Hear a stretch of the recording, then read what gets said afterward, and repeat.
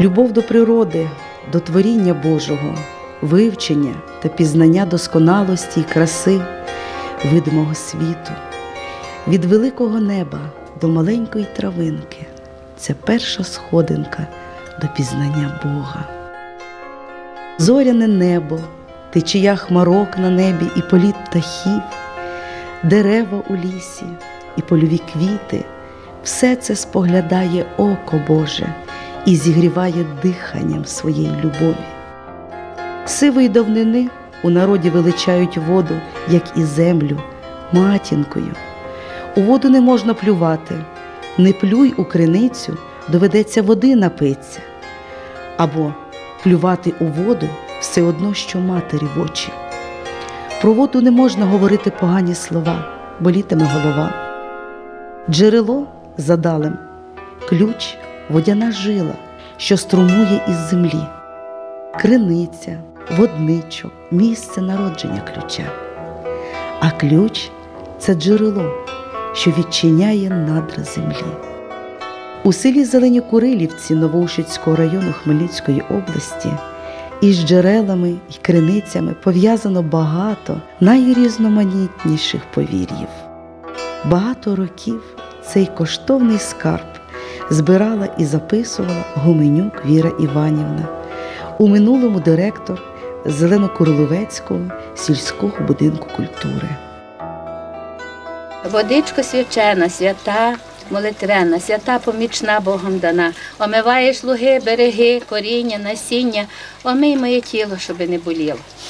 Так кажеться до водички, щоб вона допомагала, того що вода це основа всього нашого життя на землі. От. І дуже багато є приказок таких, і примовок. От, наприклад, нападає гикавка, так?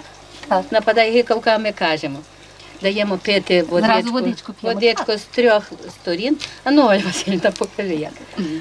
Так кажемо, гикавко, гикавко, іди собі до води, кого хочеш напади, чи коня, чи вола, чи корову, а чи дівку здорову. І Не так три рази і вже не гикаю. Або ще що?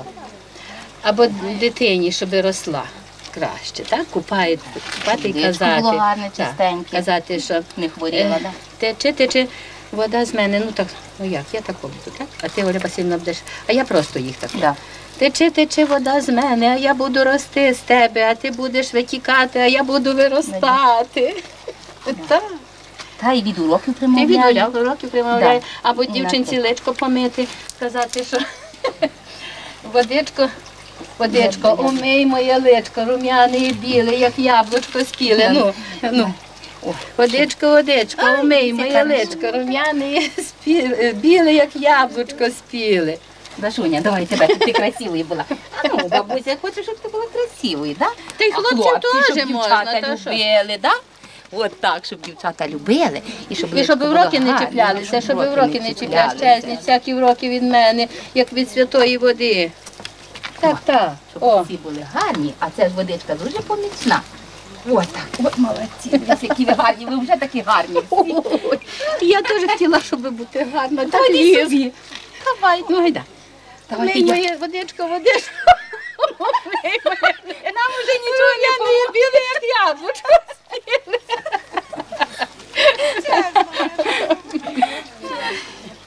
Ну що? Хорошо, водичка Правда, холодна, водичка так? така холодненька. І вже легше стало, правда ж? А це ще така водичка з такого джерела. Да. Усім попити зараз дамо цієї водички. А що до А ще з нового глечика пили, щоб добре говорили. Щоб гарно говорили. Значить, всі з глечика п'ємо, давайте. Ну, давайте Хто з хоче з глечика? Хто хоче з глечика? Щоб га- так всім, всім, всім, щоб гарно говорили. Коли знаєте, як е, маленькі діти родилися, і вже рік минав, там вже дитинка повинна говорити. Якщо не говорила, їхали на базар, купляли новий глечик і обов'язково з нового глечика давали попити дитині, щоб гарно говорила.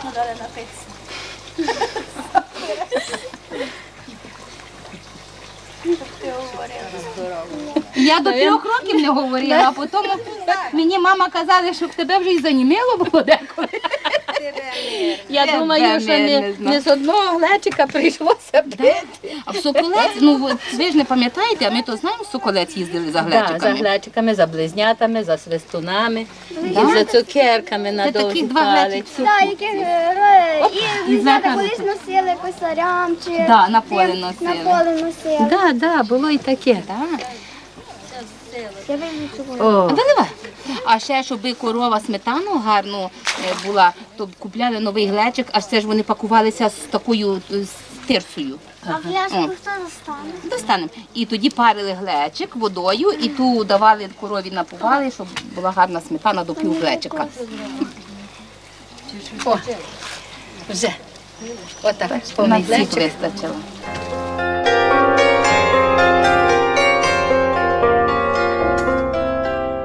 Вважається за велике діло копати криниці.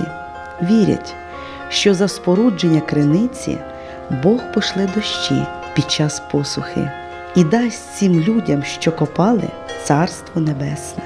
Побутує звичай, що коли ідеш до криниці, треба казати з добрим ранком, свята вода Божа, добрий день тобі, дівчино, світла водиця і земля улянушка. Або ти ж вода Уляно, проходила землями, новими ключами, і входила в море, піски, і креміння, і коріння. То я прошу тебе, благослови мені сієї води морської набрати для помочі моєї. Вода Олена, очищаєш луги і береги, очисть мене від усього злого, болісті і слабості. Добрий день тобі, водо Тетяно, а земля Уляно, прибувай з круг, із гір, полів, з лісів, із ростоків, із потоків, щоб так до моєї корівки молоко прибувало. Забруднювати джерела вважається великим гріхом, бо джерело то око Боже. За повір'ями, джерела і криниці втрачають свою силу, якщо в них купаються перуть або п'ють воду тварини, тому зазвичай над джерелами роблять споруди. Вода у посудині має бути закритою, і під ногами не має бути. У селі Зелені Курилівці є декілька джерел, які позначені Богом і людьми. Криничка за яром. Про її цілющі властивості люди знали з давних давен і вірили, що коли набрати води із неї до сходу сонця та ще кинути монету, то вона обов'язково допоможе. Забите дівочими косами джерело, про нього є легенда. Колись давно, коли турки нападали на українські села, не минула така доля і зелені курилівці. Забирали вони у полон всіх гарних дівчат. І коли переходили через джерело, їхні коні почали топитися. Тоді вони вирішили обтинати довгі коси дівочі та затикати джерело. Так і прийшли. А місце те між людьми так і зветься, забите дівочими косами джерело, що в урочищі Городисько. Якби знайти те перше джерело та почистити, то все урочище було б залите водою. Але неподалік від того місця пробилася таки вода посеред поля. Люди назвали ту криничку журавель. За будь-яких обставин, що складалися у житті, воду величали по-різному: непочата, призвінна, спірна. Кожна назва відповідала дії. Непочата вода набиралася до сходу сонця мовчки з трьох криниць. Треба було також мовчки донести її додому, бо якщо з кимось по дорозі говорити, то цілюща сила води пропаде. Тризвінна вода взята із трьох церков так, аби дзвін однієї було чути до інших. Тоді ці води зливали разом, пили і оздоровлювалися. Спірна вода бралася в місті злиття двох рік. Вірили, що вона передрікала подальшу долю тяжко хворого. І справді, коли зустрічаємося з мудрими, обізнаними у своїх традиціях людьми, мимоволі прозираєш у той давній світ, коли людські душі були чистими, довірливими, тонкими і чутливими до всього живого, що їх оточувало. Вони відчували ту Божу красу і берегли її, підкорялися, усвідомлюючи свою залежність і безпорадність перед небесними силами. І недарма говориться, де кінчається вода, там кінчається і земля.